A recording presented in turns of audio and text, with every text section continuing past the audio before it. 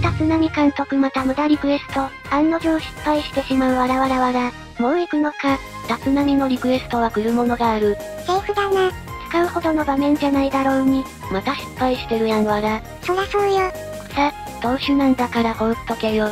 リクエストでの盛り上がりに味を占めたな。このタイミングこのケースでここでリクエスト1回失うってどうなん？明らかに制服臭かったやん。トイレ行きたかったから中断させたんや。2アウト1塁でランナーピッチャーなのに陸を無駄にするアホ監督がいるらしいわら。